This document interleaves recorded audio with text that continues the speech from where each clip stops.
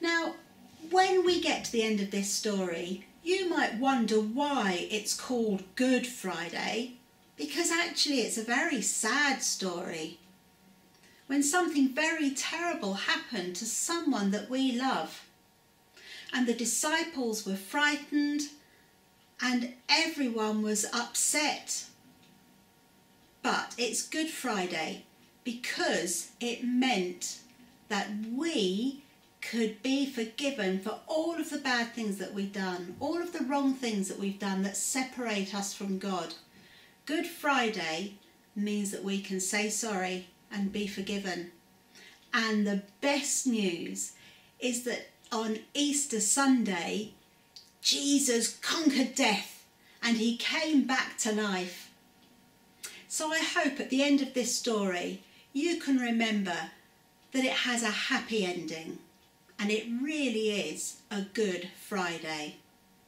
Now it's quite a long story this morning, so make sure you're sitting comfortably. Jesus had been arrested in the garden and he was now standing trial before the high priest. All night long, Jesus stood before the council, listening to the false charges they made. None of the witnesses they called told the same story. They could prove nothing against Jesus. At last, in desperation, the high priest challenged Jesus directly.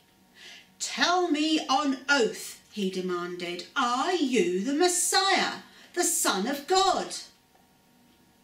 I am, Jesus replied. That settles the matter, the high priest declared.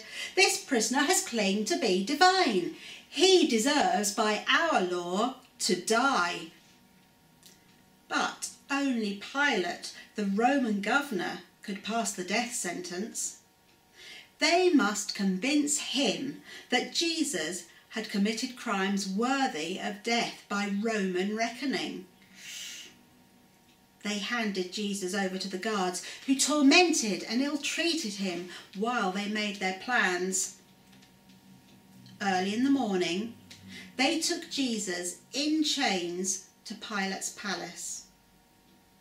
Pilate was in Jerusalem to keep order during the excitable days of the Passover. Uh, this man has been stirring up trouble, they told Pilate. He tells people not to pay taxes and says he's a king. If these charges were true, Jesus would be sentenced to death. But Pilate was certain that the Jewish leaders had trumped up the charges because they were jealous of him he began to cross question Jesus himself and could find nothing wrong that he'd done. All the while, a mob below in the street, mustered and led by the priests and leaders, were chanting over and over, Crucify! Crucify! Crucify! Pilate came out to speak to them. Well, this man is completely innocent, he announced. He doesn't deserve to die The chant swelled to a deafening roar. Crucify! Crucify! Pilate tried another way out. It is Passover time, he said. I shall set a prisoner free as part of the celebrations. Let me set Jesus free. But the leaders were ready with a new slogan. We want Barabbas! We want Barabbas! and the crowd took up the cry. Barabbas was a mob leader in prison for murder. Pilate was at his wits' end. If the crowd rioted, he might lose his job. He dare not release Jesus, even though Roman justice declared him innocent. He decided to wash his hands of the whole matter and hand Jesus over to be put to death by crucifixion as the mob insisted. Pilate gave in to the wishes of the mob and their Jewish leaders. He set Barabbas free and ordered his mercenaries to whip Jesus before taking him to be crucified. Roman whips were made from leather strips weighted with pieces of metal, and prisoners sometimes died from the injuries they caused. After they had whipped Jesus, the Roman soldiers teased him cruelly. He was supposed to be a king, was he? They dressed him up in a robe dyed royal purple. One of them quickly put together an imitation crown from sharp speared thorn twigs and rammed it down on his head. Then they knelt to him in mock homage, proclaiming, Oh, long live the king, before spitting in his face. Soon it was time to take the prisoner to the place of execution. By Jewish law, this had to be outside the city gates. The little procession set off down the hill towards Golgotha, which means skull place. A mocking, shouting crowd followed, and a few women went too, crying to see their good, brave teacher being led off to die. Prisoners were expected to carry the rough wooden crossbar on which they would be executed, and the soldiers had already laid the heavy beam on Jesus' shoulders. But Jesus was weak from the long interrogations and the whipping. He could scarcely walk upright beneath its weight. A Jew up for Passover came striding up the hill towards them. Here, you, the centurion called, laying a firm hand on his arm. Carry the cross for the prisoner. We'll never get there at the rate we're going. Simon was strong and broad shouldered. He carefully lifted the cross from Jesus' torn shoulders and hoisted it onto his own.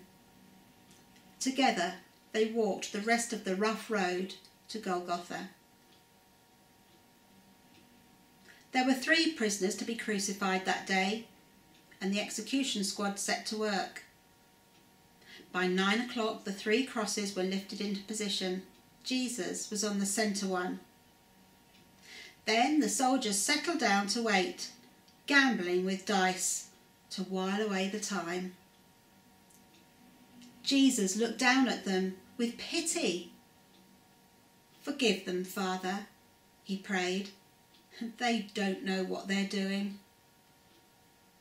The Jewish leaders had arrived to gloat and cheer. You saved others, they said mockingly, but you can't save yourself. One of the criminals hanging on the next cross muttered hoarsely, Aren't you supposed to be the Messiah? Why don't you save us all? But the other criminal said, You be quiet. We deserve to die, but this man is innocent. Then he begged Jesus when you come as king, please remember me. You don't have to wait until then, Jesus replied. You will be with me in paradise this very day. Some of Jesus' disciples, mostly the women, were there too. Look after my mother, Jesus whispered to his close friend John. John nodded. He'll be a son to you now, Jesus told his mother, who stood crying bitterly. At noon, when the sun should have been brightest, thick darkness fell. For three hours Jesus suffered all alone, carrying the weight of the whole world's sin. Then, at three o'clock, he called out in a clear, triumphant voice, it is finished. Then he gave up his life and died. Whoa, I told you it was a sad story today, didn't I? But never mind. We know how it ends, don't we? On Easter Sunday, when Jesus comes back to life. Brilliant. Right, I'm going to say our prayer now. If you want to join in, you can read it from the sheets or just say Amen at the end. Dear God, I am sorry for the mistakes I have made, for the times when I have made bad choices or been disobedient. Thank you that you sent your Son Jesus to die on the cross for us. Thank you that when Jesus died on the cross, he took the punishment for all my mistakes and all the mistakes of the world. Amen. Thanks for watching everyone. I'll see you tomorrow. Bye.